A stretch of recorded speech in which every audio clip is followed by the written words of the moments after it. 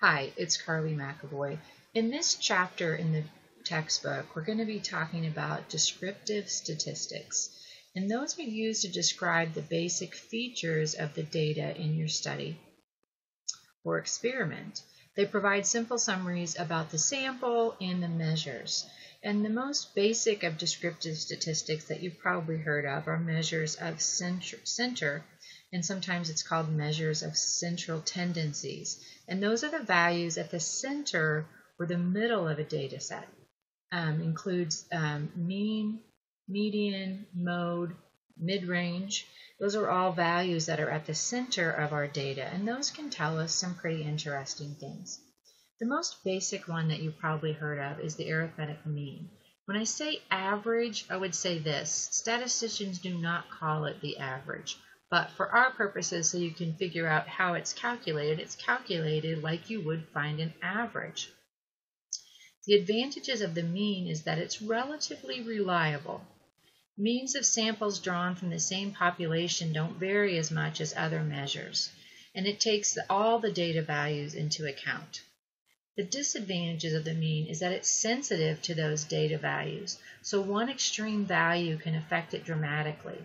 And that we say it's not resistant, which means it's not resistant to those outliers. So if you were looking for the mean income of all the um, people in a company, and you included the CEO who's making 15 million a year, along with all the people that are making minimum wage, that would dra dramatically affect the mean. So it's not resistant to those outliers, and that's the disadvantage of it. I wanted to show you some of the notations involved when we're talking about this. This is capital sigma, and that denotes the sum of a data set. So when we use that sigma, we're saying sum up all that. And you'll see that a lot when you're doing statistics. Um, X is the variable used to represent the individual data values. N represents the number of data values in a sample. So if we had um, 12 people gave their uh, pulse rates, we'd have 12, an N of 12. But then each of those would have an X value, like her pulse rate was 62 and his was 55 or whatever. Capital N represents the number of data values in a population. Now remember that we usually can't use a population. Usually we're looking at a sample to describe our population. X bar is this X with the bar over it. That denotes the mean of a, of a set of sample values and that comes from adding up all of our x, val x values and dividing by n the number of data values in the set. And mu is the notation we use to denote the mean of a population. And notice that when you're working with a population, you're dividing by n, which represents the data values in a population. So they're very simple, similar formulas, but just replacing the small lowercase n with the uppercase n. And then the median is also one you've probably heard of before. It's the middle value when the original data is arranged from least to greatest.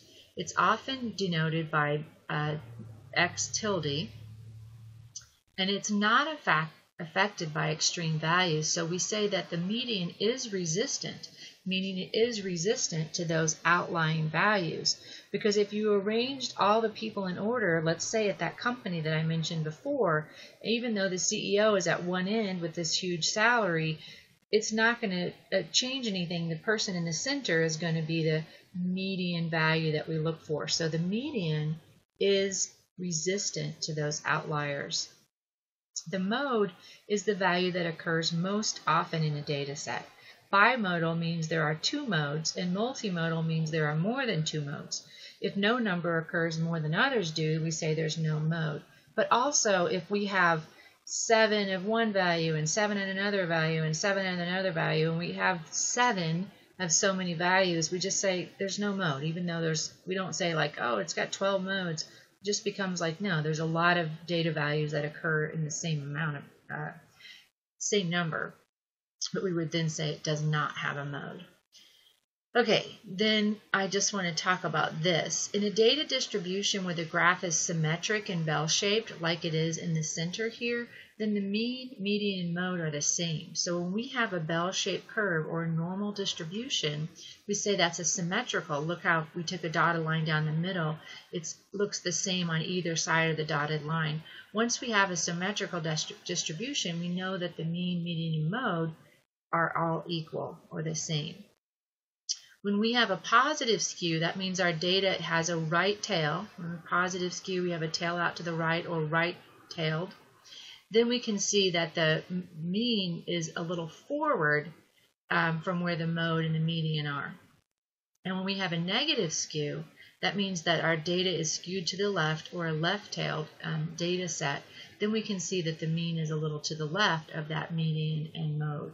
So when you see that a nice bell-shaped curve, you can say, oh, the mean, median, and mode are all the same. The last one I want to talk about is the mid-range, and that's just the value midway between the maximum and the minimum values. To find the mid-range, you take the maximum minus the minimum and divide by 2.